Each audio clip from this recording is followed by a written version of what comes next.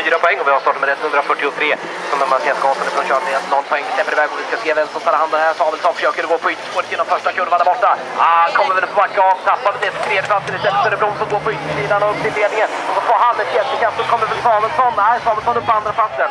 Blom står det på fel håll.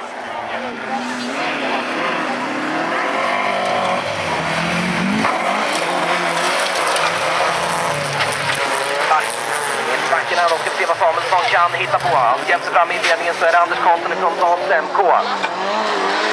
Rydström uppe på tredje platsen just nu. Samuelsson försöker hitta på någonting där framme i ledningen. Vill stannandes längst bak i fältet nu också med startnummer 127, Danne Blom från Hällevadsholm. Som eh, både till både fel och nu är skift i den här ledningen. Samuelsson hittar luckan på insidan och så tar han över. Samuelsson, vad sa vi att han hade poängmässigt då? Anders Samuelsson, 189, hade 10 poäng. Två stycken. Andra platsen genom 10. Hur det? Ja, skulle jag tippa. Ja, och med i ryggen.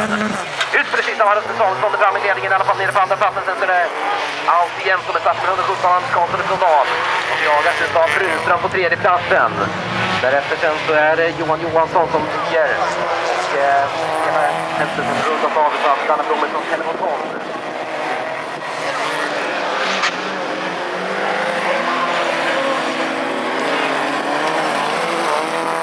Backen Samuelsson eh, ah, laddar väl på sådär mediumhårt. Han vet att han har en ganska bra lucka bakåt.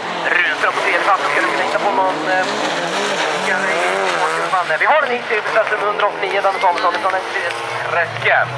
Långt därefter utav startnummer 117 som Anders Karlsson. Därefter har vi Runström på tredje platsen, fjärde platsen för startnummer 201, Johan Johansson. Därefter startnummer 127.